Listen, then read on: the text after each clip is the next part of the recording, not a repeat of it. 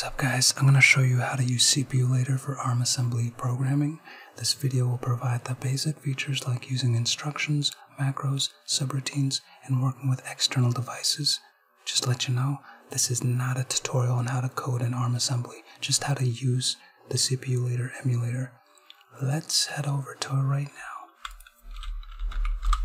Just a Google search. First result. Alright, so CPUlator is a great emulator. Why? Because you won't have to download any software or sign up for anything. Just go to the link and you'll be ready to code on it.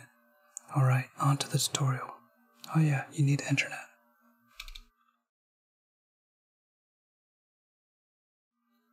So we have two versions of ARM 7 we can use on CPUlator. There's the basic version, right here, and the advanced version, right here, which comes with bells and whistles like buttons, displays, and other external devices. While the basic version is just for basic coding, so we're just gonna open up the basic version to see how it is. Click go. So here's the basic version. Now we're gonna switch over to the advanced version just to see the features. Switch this to the advanced version, apply and reload. So here's the devices that it comes with. Something cool we can do in both versions is we can rearrange the windows however we want. It's very intuitive.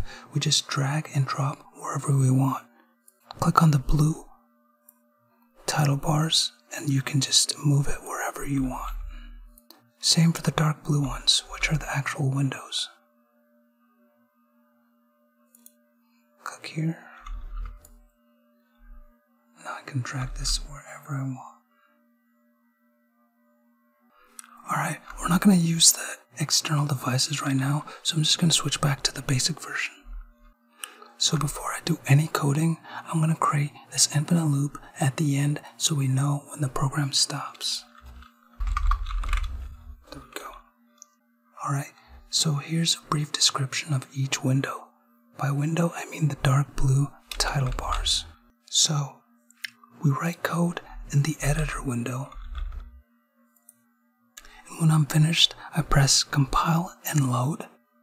After that, it'll automatically take me to the disassembly window. Disassembly window keeps track of where the code is line by line, so if we need to debug anything, this is where to go. So I'm going to write a simple code to demonstrate.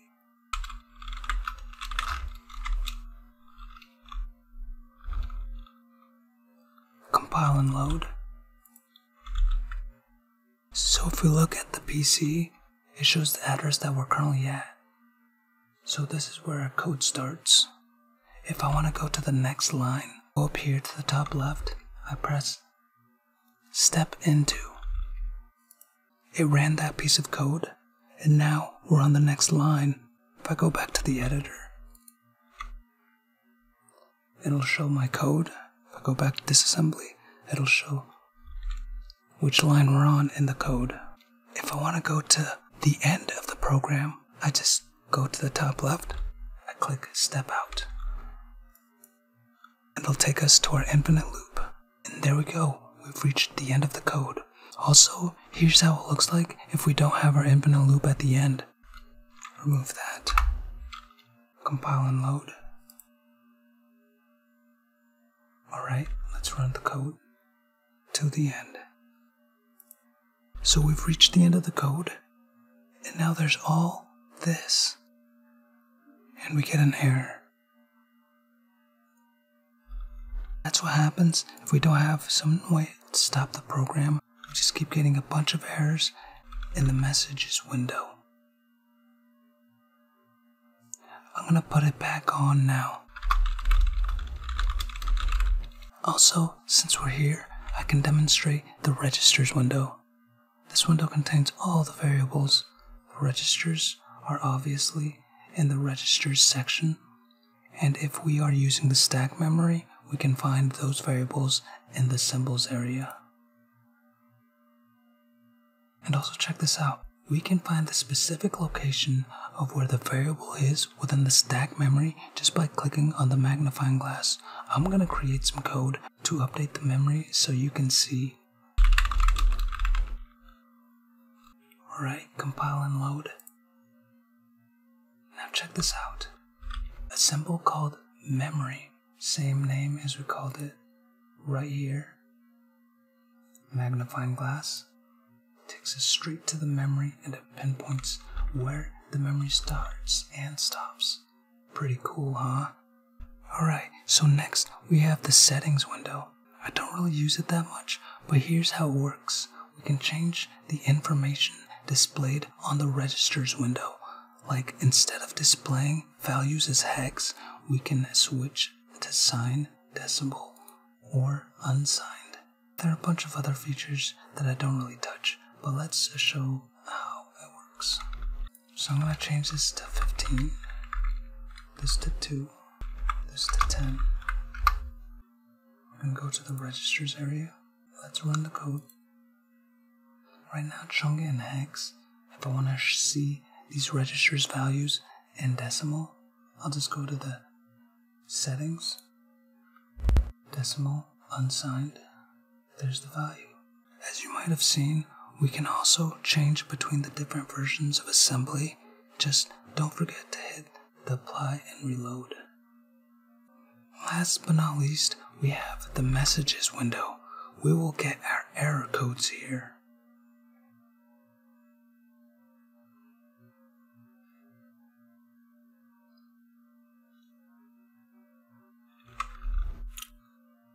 And that's how I set up CPUlator. So for this section, I'll just be showing how to work with storing data and loading data, but overall, writing instructions is no different from writing it normally, if that makes any sense at all. Alright, so I'm gonna write some sample code. For this example, I'm gonna need a data section. Alright, for this code, I'll load data from the stack memory, add 3 onto it, and then store it back into that memory.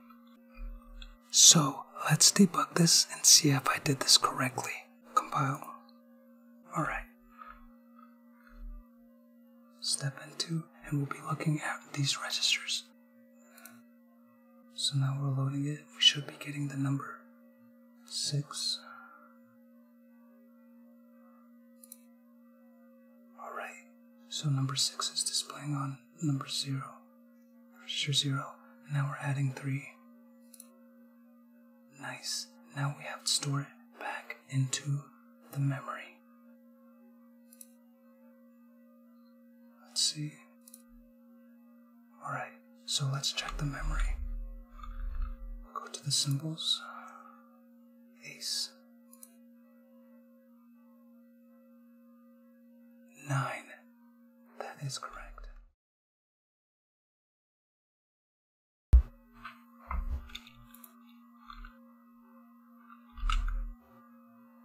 So for this part of the video, I'll be demonstrating branches, macros, and subroutines. I'll show you that they function properly. But most importantly, I'll be showing you how to use uh, branches because there's an error that can occur if they aren't used in a specific manner. So I just created a macro. What it does is it adds 1 onto the value X amount of times. If we go into the disassembly window and run this code, we'll see that the macro works. We'll be adding on to R3 five times. Let's see the value that we get. Here's R3 right now before we start stepping into the code. Alright, let's see the value that we got. R3 is equal to 5. Let's go. If we try to debug the subroutine, let's check it out. So we just entered the debug of the subroutine.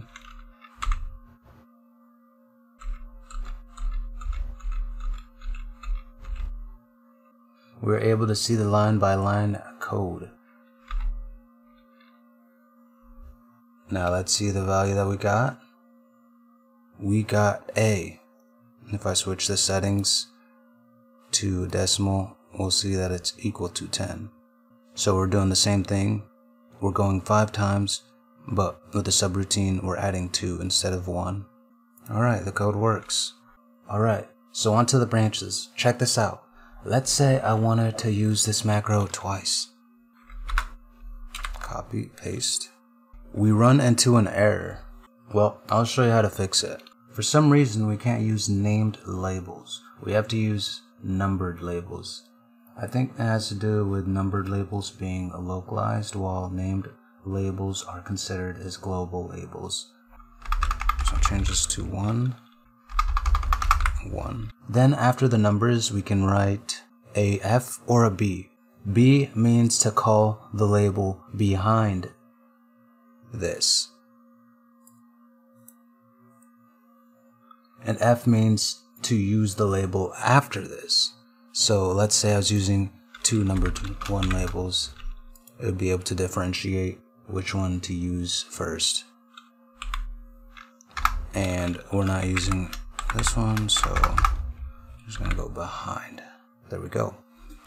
And now if I run the code again, compile, no errors, the code ran well, we got the number 10.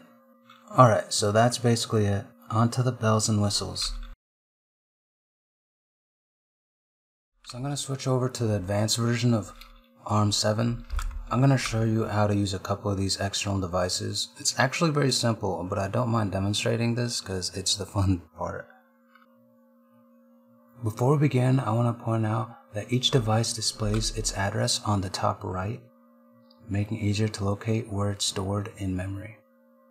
And check out all these devices we can play around with.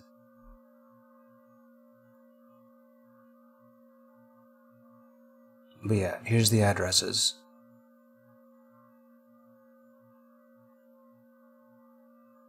First device we'll use is the display window.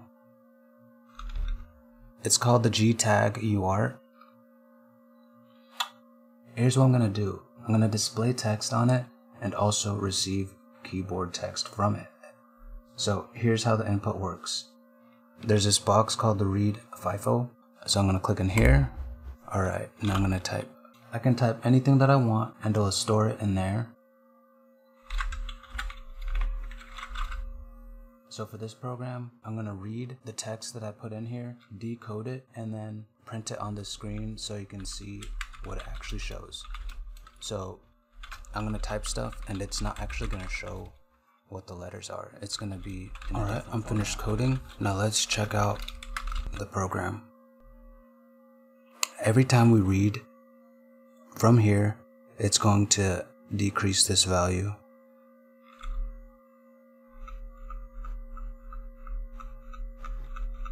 I'm just pressing, I'm stepping into, I'm using the hotkey F2.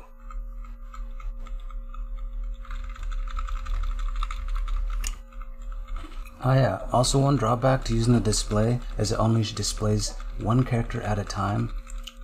And here's what I mean. So if I step out of the code, it should display everything, which I'll do now. Well, uh, I might have missed something there. But yeah, there we go. I just loaded the address in and stored a value into the address. Let's say we need to use the display again. The thing is, I'm gonna run it. I'm gonna continue the code to the end and it keeps adding on to what we have already. So here's how we clear the text on the display. This down arrow, clear terminal, and that's how you clear the screen. Alright, so now I'm gonna show you how it works with the LEDs and then we can end this video. So I'm gonna grab the address. Alright, so the code is finished. What it's gonna do is it's gonna keep storing R0 into the LED address and R0 is gonna keep incrementing by one until we hit 12 and we're gonna see how it lights up the LEDs. Right now the LEDs are off. I'm gonna compile and load. Alright, let's check this out. Right now it's zero. Oh yeah, I forgot. It does not take a byte, it takes a word. Compile and load. Oh, and I was able to know that because this error popped up. JP does not support byte, half, and all that. Alright. Rerun the code. It's at 0. It's at 1. It's at 2. 3. 4. And program's finished. We have reached 12. Alright, well, hope you liked this video. Hope it helped you learn more on how to use CPUlator.